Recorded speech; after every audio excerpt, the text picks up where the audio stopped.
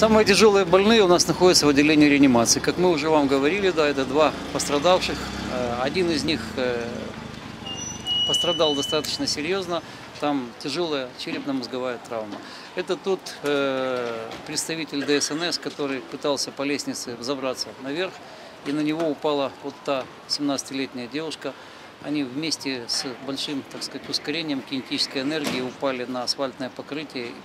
Они получили травмы достаточно тяжелые. Да, женщина получила, девушка, травму вообще несовместимую с жизнью.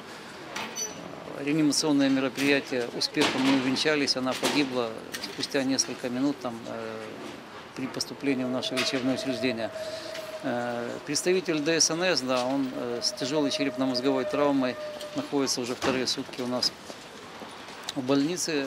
Состояние, можно сказать, даже критическое. То есть у них не- никакая не позитивная. Динамика стабильна, тяжелая.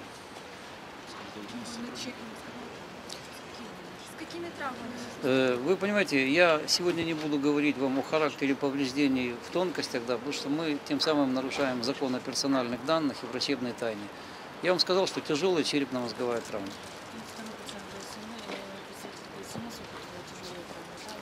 Э, у того, у второго представителя ДСНС действительно травма костей таза. Состояние его относительно, относительно удовлетворительное, но учитывая, что он находится в отделении реанимации, мы как бы э, вынуждены писать состояние тяжелое, но сегодня мы его переводим для реабилитационной терапии в другое лечебное учреждение. Да.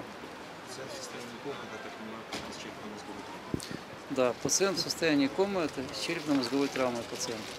Наиболее тяжелый сегодня у нас в больнице. Остальные пациенты, двое из них планируются на выписку на амбулаторное лечение, но они для себя должны принять решение, э, будут ли они переведены в госпиталь для проведения психологической реабилитации, психосоциальной реадаптации, э, госпиталь 411.